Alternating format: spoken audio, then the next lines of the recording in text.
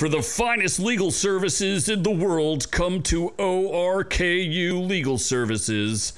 We'll keep you from being owned by your daddy.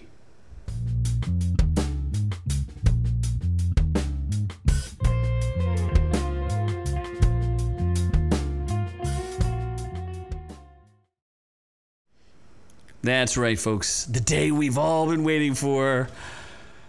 Britney is free. That's right, Britney bitches. It's time. Britney's free. She's free. I can't believe it. This is the day. I don't know. We've been following this story for way too long. And I don't know why we're following it, but Variety is going to help us out here a little bit and let us know. This is breaking news, folks. August 12th, 2021. It will go down in history. That's right, the ORKU legal team took care of business and helped Britney Spears' father step down from his conservatory. With quite a bit of uh, legal pressure, we were able to accomplish it. That's right, we did it, folks, right here.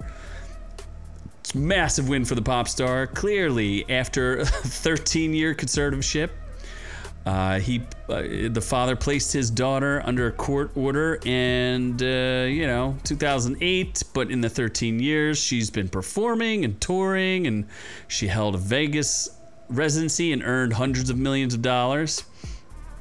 So she wants her dad in jail. She's saying that it was conservator abuse. And uh, on Thursday, her father. Sp- so looks like he filed a response to the petition and he decided to step down. Uh, his attorneys claim there's no actual grounds for suspending or removing him. He just doesn't want to fight with his daughter anymore publicly. Uh, he's doing it as of his own volition. So uh, we'll take that as a win. Uh, the pop star's attorney, ORKU Legal Services, issued a statement in response to her father stepping down. We announced in court on July 14th that after 13 years of the status quo, it was time for Mr. Spears to be suspended or removed as a conservator, and that our legal firm would move aggressively and expeditiously for that outcome. 12 days later, business got taken care of. So, looks like we got a win. Vindication for Britney? I don't know, but at least the girl's free. It's exciting for people. I'm sure they'll be dancing in the streets in celebration.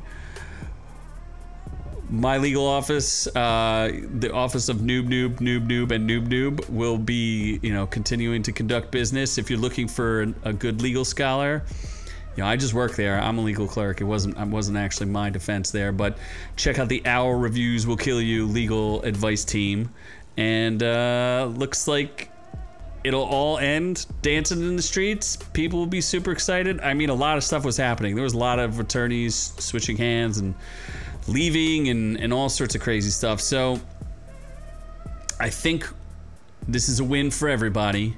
But I just wanted to break this news for you guys and uh, read our statement as the finest legal team in the entire world. Absolutely.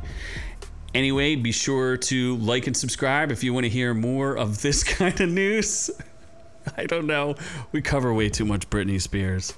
Anyway, uh, I'm Z from Our Reviews Will Kill You.